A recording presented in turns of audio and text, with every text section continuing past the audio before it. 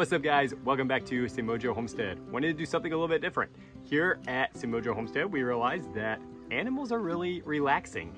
I'm just gonna have fun, throw this video out there and see what happens. So enjoy it because your stress relieving exercise starts in three, two, one.